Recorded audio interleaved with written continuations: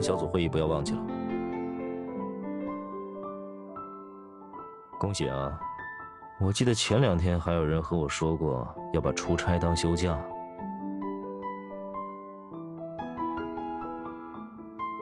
如果你能尽快完成两年内垄断恋与卫视影视制作的目标，也能去迪拜出差。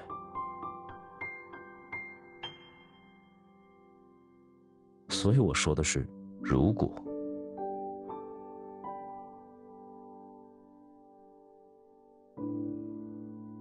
还在外面应酬，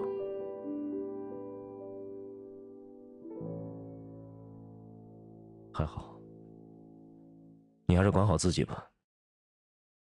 那边环境怎么样？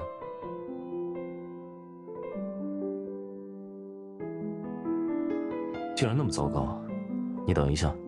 我让魏谦帮你们换一家酒店，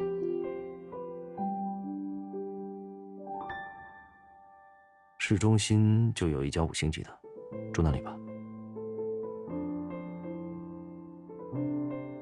经费你不用担心，安心住下吧。没有可是，你出差回来就有一个华瑞的酒会，我不想看到一个病殃殃的人担任负责人。不用客气，你可以睡觉了。游泳可以，但别去深水区玩。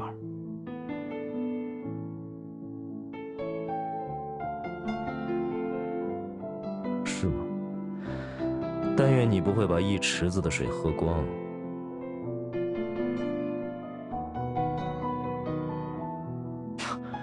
别闹，开玩笑的。怎么突然不说话了？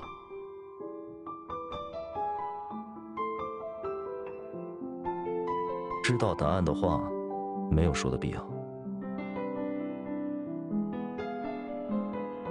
已经过了两分钟了。还有，我在你眼里就那么可怕吗？毒蛇？嗯？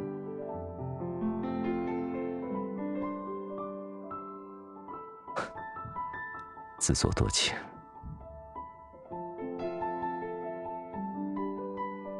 你听错了，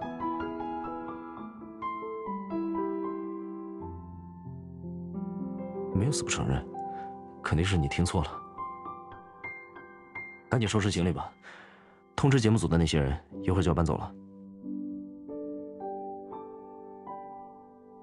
走后门，算是吧。给你一个占资本家便宜的机会。录制完节目后赶紧回来我会让魏谦来接你。知道了吗？